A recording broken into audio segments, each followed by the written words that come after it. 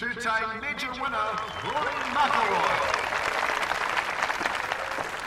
Playing with him today, Wayne Rooney. Alright. We're here. straight down the middle.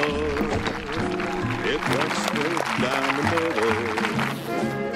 Then it started to hook just a wee, wee bit. And that's when my caddy lost sight of it.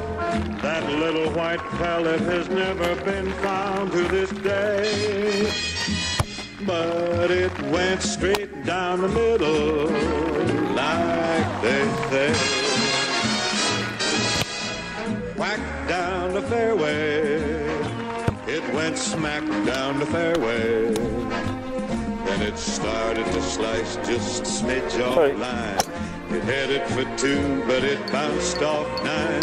My caddy says, long as Come on, you're man. still in the state, you're okay. Yes, it went straight down the middle. Wayne Rooney. Today.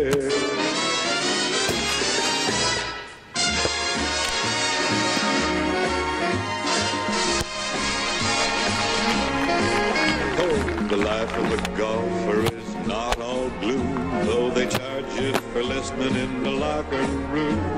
But I'm in my glory when wrapped in a towel. I say let it went straight down the middle. Far